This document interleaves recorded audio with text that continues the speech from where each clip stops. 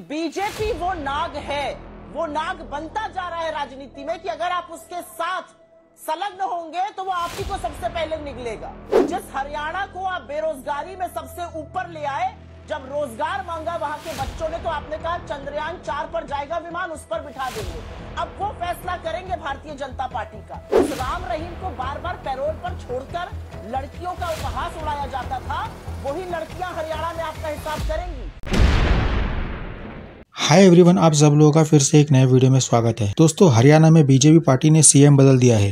क्यों बदला? क्या है वो वजह? ये सवाल मीडिया को बीजेपी पार्टी के प्रवक्ता से पूछना चाहिए। और गोदी मीडिया की एंकर रंजना कश्यप ने ये सवाल पूछा, लेकिन डिबेट के बीच में, और वो भी डरते डरते। और जो जवाब सुधांशु त्रिवेदी ने दिया, वो मुझे हजम नहीं हुआ। लेकिन सुप्रिया श्रीनाथ ने बीजेपी पार्टी के सीएम बदलने की पोल खोल दी। तो इस मज़ेदार वीडियो में अंत तक बने रहिए और चैनल को सब्सक्राइब ज़रूर करिए। तो चलिए शुरू करते हैं। पिक्चर चालू करो उनकी दलील है कि हम गैर पारंपरिक राजनीति करते हैं। और इस राजनीति के तहत हमें जो स्ट्रैटेजी सही लगी उसके साथ हम आगे बढ़ रहे हैं। सरकार उनकी सीएम उनका नया बदल डाला। बहुत तेज हो रहा है। अभी बदत है भाई अभी बदत है। आपका सवाल हरियाणा में जो परिवर्तन हुआ है उसको लेकर है मेरे अनुसार मैं तो ऑन लुकर हूँ इनका नतीजा ये किसी को बदले ये कठपुतलियों की तरह बदलते हैं अपने चीफ मिनिस्टर्स को। कहीं पर इनको वो काम कर जाता है, कहीं पर नहीं करता लेकिन मेरे चार सबक है as a student of politics Haryana से। पहला सबक ये है कि बीजेपी वो नाग है, वो नाग बनता जा रहा है राजनीति में कि अगर आप उसके साथ संलग्न होंगे तो वो आप ही को सबसे पहले निकलेगा यही लेसन इनके घटक दलों ने, चाहे वो शिरोमणि अकाली दल हो, सेना हो, या अब यहाँ पर जेजेपी को मिला हो। ये सबसे पहले आपको निकलेंगे, आपको खत्म करेंगे। उनके विधायक बुला लिए गए स्वेरिंग इन में। उन दुष्यंत चौटाला को पता ही नहीं है। दूसरा बड़ा, और ये बहुत बड़ी बात है, चुने हुए मुख्यमंत्रियों को, कठपुतलियों की तरह हटा देना, चाहे वो गुजरात हो, या उत्तराखंड हो, या हिमाचल हो, या त्रिपुरा हो, जहाँ पर भी हो, ये उनका प्रोरोगेटिव है। लेकिन ये हैसियत है मुख्यमंत्रियों की, चुने हुए मुख्यमंत्रियों की, ये उनका कार्य क्षेत्र का दबदबा है। तीसरी बड़ी बात, ये मैं मनोहर लाल खट्टर जी के लिए कहना चाहती हूँ और मुझे लगता है सुखविंदर सिंह सुक्कू जो धरती पुत्र थे हिमाचल के, उनको निपटाने चले थे। हा से हिमाचल तो नहीं, हा से हरियाणा हो गया। इसलिए नफरत की आंधी में अंधा बनना ज़रूरी नहीं है। अपना थोड़ा सा वर्चस्व, अपनी थोड़ी सी गरिमा, अपना थोड़ा सा आत्मचिंतन करना चाहिए। और अंत में मैं एक बात कहूँगी कि नूरा कुश्ती जो हो रही है, अच्छी है। ये दिखाता है कि क्या डर है भारतीय जनता पार्टी में। पूरी सरकार और सीएम इसलिए बढ़ता जा रहा है क्योंकि समझ में आ गया है कि कांग्रेस बढ़कर जीतने वाली है वहाँ पर। प्रचंड जीत होने वाली है वहाँ पर। ये नूरा कुश्ती चलेगी नहीं। साढ़े चार साल बैठकर खूब लूटा साथ में। अब अलग अलग हो जाओ कि वोट बंटवारा होगा। ऐसा होगा नहीं। ऐसा आपने करने की कोशिशें कर्नाटका में भी की थी। मैं तीस सेकंड में अंजना जी एक बात कहना चाहती हूँ, और ये थोड़ी सी व्यक्तिगत है मेरे लिए। मनोहर लाल खट्टर ने महिलाओं पर जिस तरह की भद्दी टिप्पणियाँ की हैं, जिस तरह की बातें उन्होंने महिलाओं के लिए बोली है कि रेप की बात तो वो औरतें करती हैं, जब उनको गुस्सा आ जाता है तो वो जाके रेप का केस लिखवा देती हैं। जो जीन्स पहनती है, उन्हीं औरतों का रेप होता है। जब एक सरपंच ने अपना दुपट्टा अपनी आबरू उनके पैरों पर रख दी तो उन्होंने पैर मारकर उसका दुपट्टा फेंक दिया था। मनोहर लाल खट्टर वही व्यक्ति है जिन्होंने इस देश के अन्नदाताओं के लिए सड़कें खुदवा दी, उनके राह में कीले गड़वा दी। ऊपर वाले की लाठी जो है ना, पड़ती बड़ी ज़ोर से है। चाहे देर हो, चाहे सवेर हो, बड़ी ज़ोर से पड़ती है लाठी। जिस हरियाणा को आप बेरोजगारी में सबसे ऊपर ले आए जब रोज़गार मांगा वहाँ के बच्चों ने तो आपने कहा चंद्रयान चार पर जाएगा विमान उस पर बिठा देंगे। अब वो फैसला करेंगे भारतीय जनता पार्टी का।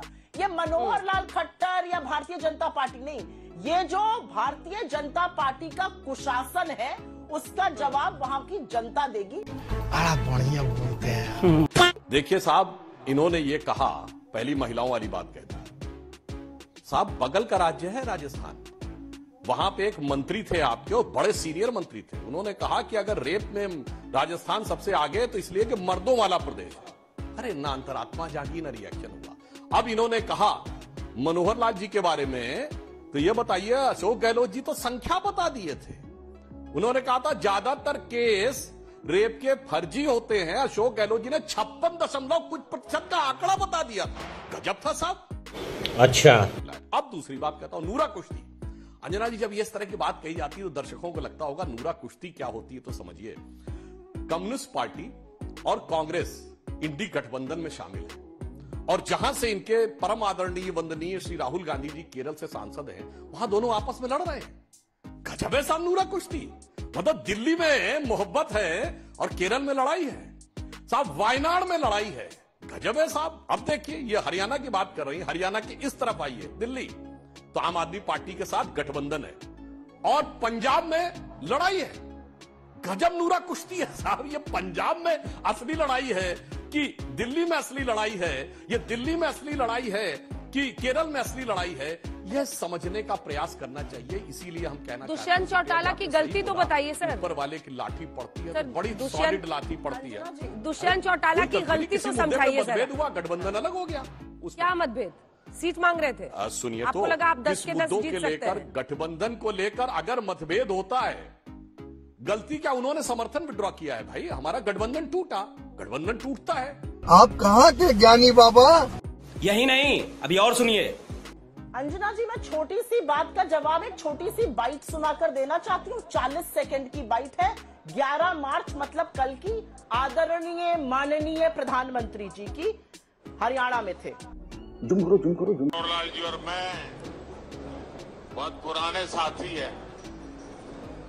दरी पर सोने का जमाना था तब भी साथ काम करते थे। जिससे पुराना साथ रहता है पहले उन्हीं को निपटाते हैं। सावधान हो जाए सब लोग। मैं दो बातें कह देना चाहती हूँ इनकी बात का उत्तर देना मुझे लगता नहीं है कि मैं ज़रूरी समझती हूँ लेकिन कुछ तथ्य लग देने चाहिए। पिछले 48 घंटों में दो sitting MP Bharatiya Janata party के ब्रिजेंद्र सिंह और राहुल कासवान कांग्रेस में शामिल हुए। पिछले एक हफ़्ते में चार सिटिंग बीजेपी एमपीज ने, जयंत सिन्हा, गौतम गंभीर, जसवीर कौर, सनी देओल लोगों ने कहा, हम भैया चुनाव नहीं लड़ना चाहते। पिछले एक हफ़्ते में दो लोग जिनको टिकट मिल गया, चाहे वो उपेंद्र रावत हो और पवन सिंह, उन्होंने टिकट वापसी करके कहा, हम चुनाव नहीं लड़ेंगे। पिछले एक ही हफ़्ते में कई लोगों ने राजनीति को अलविदा कह दिया, उसमें एक डॉक्टर हर्षवर्धन है, एक वहाँ पर नितिन पटेल जी, उन्होंने कहा, भैया, हमें टिकट ही नहीं चाहिए, हमें राजनीति ही नहीं करनी, अब हम जाके कुछ और करेंगे। ये एक डूबता जहाज़ है। अच्छा।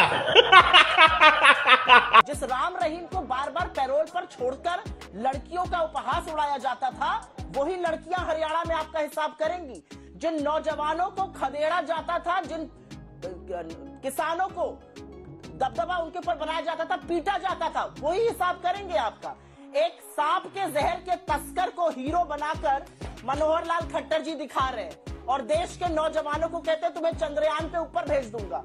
तो उनके हट जाने से आपके पाप नहीं धुल जाएँगे। और ना ये नूरा कुश्ती करने से आप वापस सत्ता में आने वाले सारे प्रयास कर लीजिए हरियाणा ने भी मन बना लिया है। और अभी तो रुको क्लाइमैक्स अभी बाकी है। आपने शुरू में ही पहले जवाब में कहा था कि एक पॉलिटिकल एनालिस्ट और स्टूडेंट के तौर पर मैं कुछ बातें कर रही हूँ। तो एक प्योर एनालिस्ट के तौर पर आप देखेंगे तो ये फॉर्मूला उनके लिए काम करता हुआ साफ़ दिख रहा है। नंबर्स कह रहे हैं। अच्छा हमको सिखा रिया है। बिल्कुल नहीं दिख रहा है। अगर दिख रहा होता तो गठबंधन तोड़कर अमित शाह के इशारे पर जेजेपी के अध्यक्ष दुष्यंत चौटाला ना जाते। यहाँ पर बोला जा रहा है शिष्टाचार है। कौन सा शिष्टाचार है भाई? यही नूरा कुश्ती है जिसका इन्होंने धीमे से स्वीकृति भी कर ली। लेकिन देश की जनता को बेवकूफ़ समझना छोड़ दीजिए। तीन बातें कहूँगी यहाँ पर। आप साढ़े चार साल तक पहले गठबंधन चलाइए, मिलकर लूटिए। उसके बाद अलग हो जाइए कई हम अलग अलग मैदान में जिन जाटों को आपने पिटवाया है, जिन किसानों को आपने दौड़ा दौड़ा कर लाठीचार्ज कराया, जिनके रास्तों में कीले गड़वाई हैं, वो गठबंधन टूटने से आपके साथ आ जाएँगे या दुष्यंत चौटाला के साथ चले जाएँगे। लोग दुष्यंत चौटाला को वही जवाब देंगे जो यूपी की जाट पार्टी को देने वाले। देख लीजिएगा, आप मेरी बात लिख कर रख लीजिए। एक और बात कहूँगी, यहाँ पर मंडल कमीशन का ज़िक्र किया गया। सात अगस्त 1990 भारतीय जनता पार्टी ने विश्वनाथ प्रताप सिंह की सरकार से समर्थन वापस लिया। पता है क्यों? क्योंकि उसी दिन उन्होंने मंडल कमीशन की रिपोर्ट को स्वीकार किया था, उसको एक्सेप्ट किया था। ये रिजर्वेशन के खिलाफ थे। खत्म। Bye bye, Tata, good bye, गया।